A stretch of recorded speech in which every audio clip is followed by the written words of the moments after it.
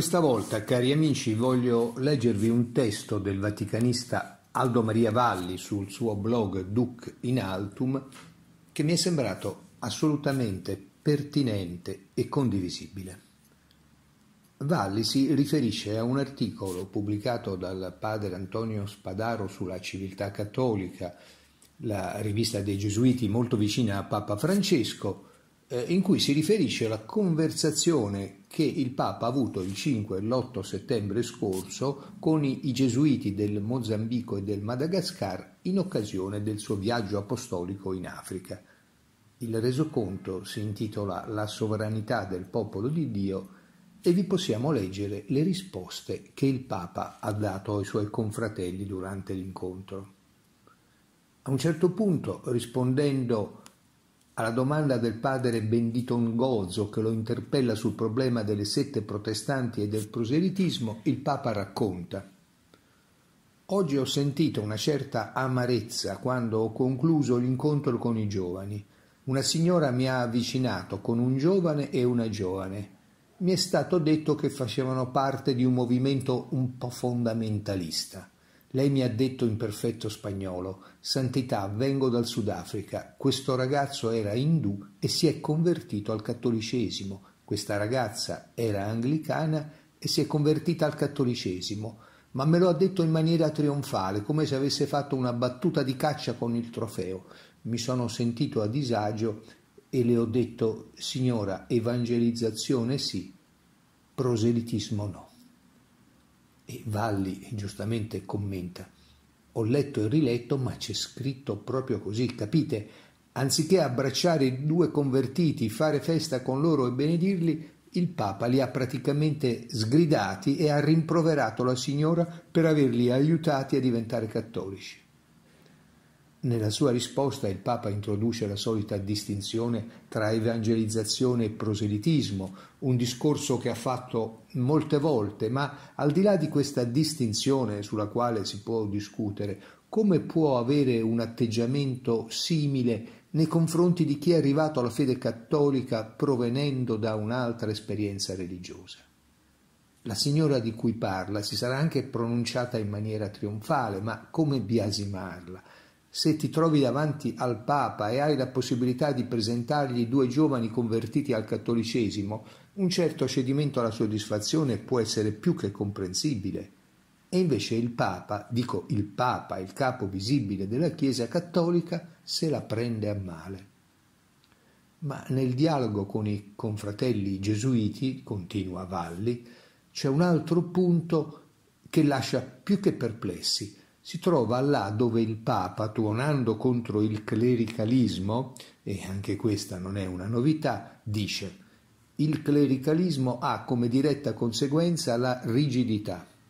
Non avete mai visto giovani sacerdoti tutti rigidi, in tonaca nera e cappello a forma del pianeta Saturno in testa?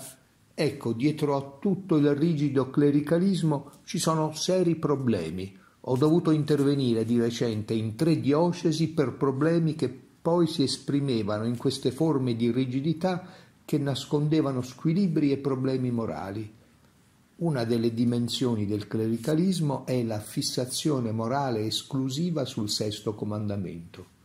Una volta un gesuita, un grande gesuita, mi disse di stare attento nel dare la soluzione perché i peccati più gravi sono quelli che hanno una maggiore angelicità, orgoglio, arroganza, dominio e i meno gravi sono quelli che hanno minore angelicità, quali la gola e la lussuria. Ci si concentra sul sesso e poi non si dà peso all'ingiustizia sociale, alla calunnia, ai pettegolezzi, alle menzogne. La Chiesa oggi ha bisogno di una profonda conversione su questo punto. D'altra parte i grandi pastori danno alla gente molta libertà il buon pastore sa condurre il suo gregge senza asservirlo a regole che lo mortificano. Il clericalismo invece porta all'ipocrisia anche nella vita religiosa. Fin qui il Papa e Valli osserva. Non voglio entrare nella questione riguardante quali peccati siano più gravi, se quelli legati alla sfera sessuale o quelli sociali, perché mi sembra un discorso che non porta da nessuna parte. Mi concentro invece sul parallelo che il Papa fa tra il clericale inteso come arrampicatore e persona moralmente corrotta, e il rigido esemplificato dalla figura del giovane prete in tonaca nera. E dico che qui siamo a un livello di insinuazione e di maldicenza del tutto inaccettabile. In base a che cosa il Papa sostiene che il giovane sacerdote che si veste da prete con tonaca e cappello è un rigido e come tale un clericale e una persona moralmente corrotta?